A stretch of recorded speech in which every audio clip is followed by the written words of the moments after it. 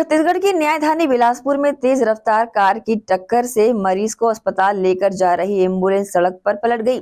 इस हादसे में दो लोग घायल हो गए।